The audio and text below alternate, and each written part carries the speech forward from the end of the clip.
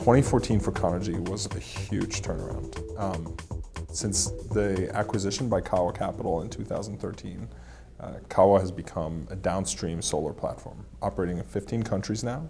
Uh, 2014 brought operating profitability to a company um, that, amongst its peers, is not a common feature.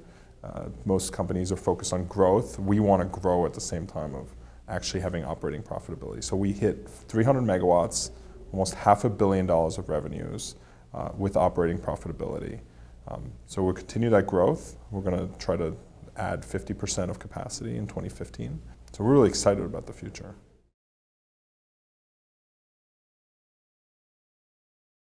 It's the global platform. It's the ability to procure in large volumes to drive the cost down uh, while being able to uh, live through the ups and downs of individual markets and still hitting our global target.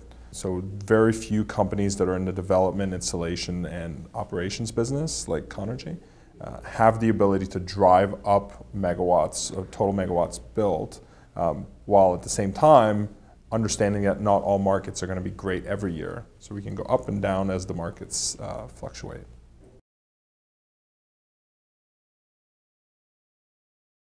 So from Conergy's perspective, what really differentiates us is the really brilliant people that work in Conergy. Uh, they come from a background of semiconductors, PhDs, uh, from around the world. And um, that's, you know, they love working in solar, they love working for Conergy.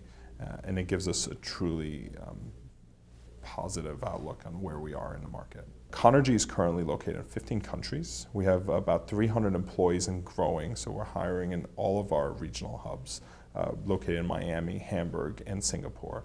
Uh, so throughout the 15 countries, there's growth. And um, so there's opportunities within Conergy in all of the different areas. Uh, but with 300 people, we're doing over 300 megawatts, and that's growing. So we're really excited where we're at, and the productivity of our people is amazing. Well, it's about watching your costs and doing, uh, having really good people being very productive. Um, so we, uh, with 300 megawatts, we're one of the largest uh, development EPC firms in the, in the world. Um, and doing so in 15 countries, if we actually had total country presence with engineering, O&M, et cetera, in every country, uh, which is how a lot of the structures are set up, uh, we wouldn't be profitable. But having that operating, having the goal of operating profitability instead of just pure growth, um, we're able to, to take both into account. And you know, I think that's the main difference. But we're driving towards that. Uh, I think the solar industry is recognizing that profitability is more than just an afterthought now.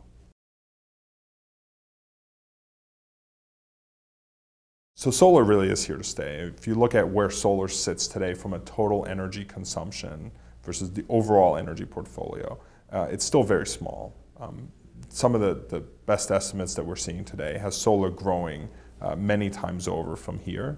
And it's going to give us, um, you know, we have a really strong platform today. We have to defend the policies that got us here.